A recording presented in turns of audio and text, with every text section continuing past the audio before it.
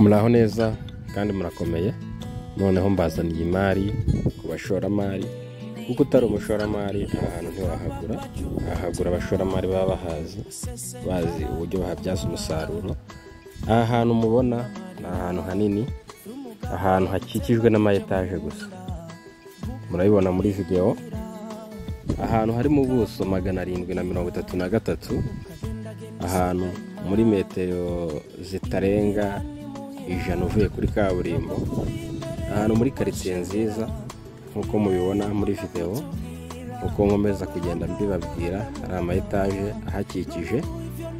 Hashaka amafaranga make cyane harimo ayo mazu iyo nzu ubona ishaje eh, imwe ifite ibyumba bitatu na saro hakaba n'amanegise atatu.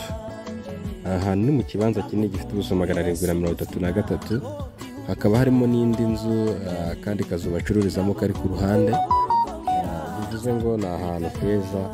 Ah, wowe w'umushoramari ukeneye kubaka amazu akodeshwa ukeneye kubaka amaparitoma ukeneye kubaka akabari aha ni ahantu heza wagura hakakubyarira inyungu.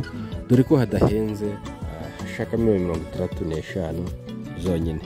Ahangaha ikibanza ushobora kuvuga ngo harahenze ariko nyamara ntihahenze kuko ikibanza cyonyine kirimo ubusa. Kidakikijwe n'aya mazu ah, kiri hirya yaho mu nkengero z'ahangaha iyi nzu iherereye kiri kure ya kaburimbo ikibanza cya make gifite kenze siriventi kiri kugura amafaranga miliyoni makumyabiri n'eshanu. Kugira ngo ubwo urumva agaciro ahantu hafite aho hafite ubuso magana arindwi na mirongo itatu na gatatu bakaba bari kugura amafaranga mirongo itandatu n'eshanu. Harimo inzu muri metero ijana uvuye kuri kaburimbo ni ahantu heza nk'uko muri kubibona muri videwo haterereye hadasaba gusiza. Ese urumva wowe atari imari?